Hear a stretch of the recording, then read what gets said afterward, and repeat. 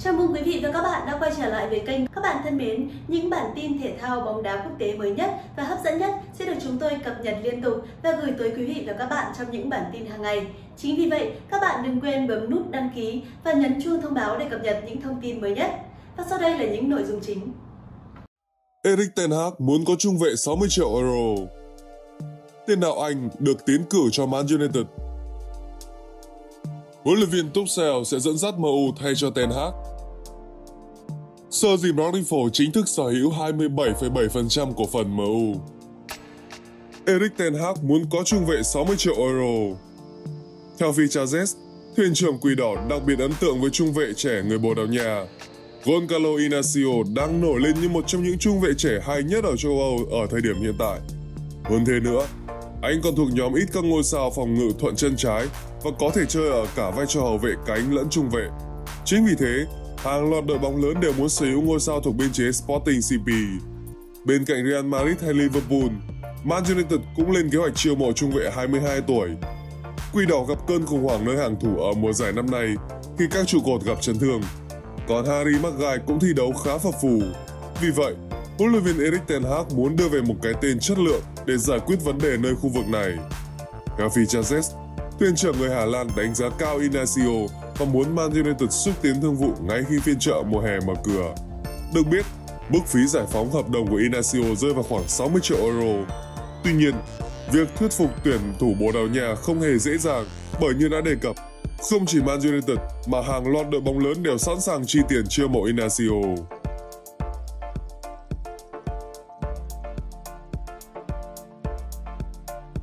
Tiền đạo đội tuyển Anh được tiến cử cho Man United. Trao đổi với Bole Sport, cựu cầu thủ Steve Bruce đã dành nhiều lời khen ngợi đến chân sút người Anh. Theo quan điểm đến từ Steve Bruce, trước rủi ro về luật công bằng tài chính, Manchester United nên nhắm đến một phương án như Callum Wilson để củng cố lại vị trí tiền đạo cắm, cựu cầu thủ của Quỷ Đỏ chia sẻ. Man United luôn được liên kết với hàng loạt cầu thủ và những gì chúng ta vừa thấy vào tháng 1 là một sự kiểm chứng thực tế rằng bạn không thể vi phạm các quy tắc về luật công bằng tài chính. Bạn phải tuân thủ những quy tắc này và đó là lý do tại sao chúng ta không thấy nhiều hoạt động chuyển nhượng. Tôi không nghĩ mình đã từng thấy một phiên chợ đông nào yên tĩnh hơn. Đó là điều chắc chắn. Wilson là một tay săn bàn đã khẳng định được bản thân. Hãy nhìn vào phong độ của cậu ấy. Cậu ấy đang chơi rất tốt. Thật không may, Wilson đã gặp phải một vài chấn thương. Nhưng khi sung sức thì cậu ấy lại là một cầu thủ rất giỏi. Tôi không ngạc nhiên khi Wilson được liên kết với các câu lạc bộ, bao gồm cả Man United. Bởi vì nếu bạn nhìn vào thành tích của Wilson, đặc biệt là kể từ khi cậu ấy chuyển đến Newcastle, cậu ấy đã biến mình thành một số 9 rất rất giỏi. Huấn luyện viên Tuchel sẽ dẫn dắt MU thay cho Ten Hag. Thomas Tuchel quan tâm đến công việc ở Man United khi ông lên kế hoạch trở lại Premier League sau quyết định chia tay Bayern Munich vào cuối mùa giải. Thomas Tuchel đang lên kế hoạch cho một sự trở lại Premier League đầy ấn tượng khi ông để mắt đến việc chuyển đến Manchester United sau khi rời bên Munich vào mùa hè. Gã khổng lồ Bundesliga tiết lộ trong một thông báo gây sốc rằng huấn luyện viên người Đức sẽ chia tay câu lạc bộ vào cuối mùa giải hiện tại. Áp lực ngày càng gia tăng với Tuchel trong bối cảnh thời gian thi đấu thảm bại. Tuy nhiên, với việc cựu huấn luyện viên Chelsea sẽ được tự do vào mùa hè, nhà báo Christian Fall đưa tin rằng ông rất muốn trở lại giải đấu hàng đầu nước Anh. Theo nhà báo Paul của Bill, Manchester United sẽ là câu lạc bộ mà Tuchel luôn quan tâm và ông luôn sẵn sàng đón nhận thử thách mới đó sau khi rời bên. Huấn luyện viên hiện tại của Quỷ Đỏ Erik ten Hag đã không còn chứng minh được năng lực thuyết phục được nữa trong suốt gần 20 tháng đảm nhiệm vai trò của mình. Man United không phải là đội duy nhất trong tầm ngắm của Tuchel. Telegraph đưa tin rằng huấn luyện viên người Đức đang theo dõi tình hình ở Liverpool khi Jurgen Klopp chuẩn bị ra đi vào mùa hè và Bayern quan tâm đến mục tiêu số 1 của Jurgen là Xabi Alonso. Tuchel cũng là một ứng cử viên tiềm năng cho vị trí tuyển thủ Anh nếu Gareth Southgate từ chức sau Euro 2024, mặc dù ông đã ám chỉ rằng mình sẽ ở lại. Nếu thương vụ này thành công, việc Tuchel dẫn dắt những nơi khác ở Premier League chắc chắn sẽ là một cảnh tượng đau lòng đối với người hâm mộ Chelsea. Huấn luyện viên người Đức vẫn được tôn trọng ở Stamford Bridge sau khi dẫn dắt họ tới chức vô địch Champions League lần thứ hai và vượt qua thành công giai đoạn khó khăn sau lệnh trừng phạt đối với chủ sở hữu lúc đó là Roman Abramovich. Chiến lược gia người Đức chắc chắn sẽ phấn khích trước những lời mời gần đây của Sir Jim người nắm giữ cổ phiếu thiểu số của Man United, người đã hoàn tất việc mua lại vào ngày hôm nay.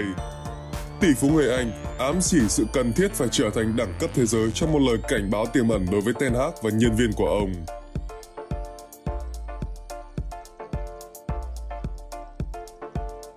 Sir Jim Ratcliffe chính thức sở hữu 27,7% cổ phần MU.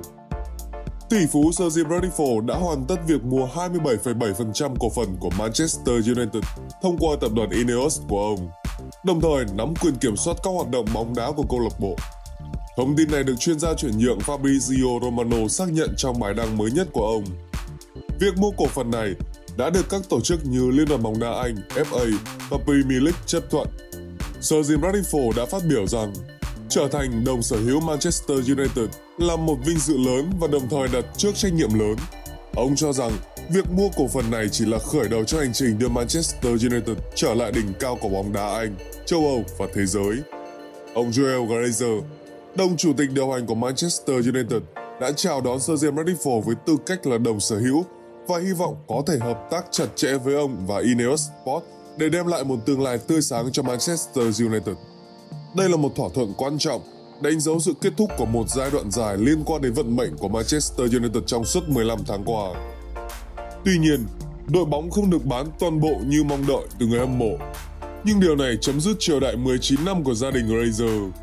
Sau khi thỏa thuận được hoàn tất, Manchester United sẽ tiến hành nâng cấp sân vận động Old Trafford. Điều đầu tiên mà Sir Jim Ratcliffe thực hiện sau khi sở hữu cổ phần là bổ nhiệm Ome Barada giám đốc điều hành từ đối thủ cạnh tranh Manchester City. Tỷ phú người Anh cũng đang lên kế hoạch thay đổi ban lãnh đạo với việc nhắm tới Dan Ashworth cho vị trí giám đốc thể thao trước khi nghiên cứu kế hoạch chuyển nhượng trong mùa hè tới. Trước đó, mặc dù chưa được thông qua bởi Liên đoàn bóng đá Anh, Sir Jim Ratcliffe đã lãnh đạo quá trình cải tổ tại một đội bóng đang trải qua giai đoạn khó khăn. Mùa giải Premier League gần đây là mùa thứ 11 liên tiếp mà Manchester United không đạt được chức vô địch, không thể cải thiện kỷ lục 20 chức vô địch trước đó. Hiện tại, đội bóng do huấn luyện viên Erik ten Hag dẫn dắt đứng thứ 6 tại Premier League và đang cạnh tranh một trong 4 suất dự Champions League.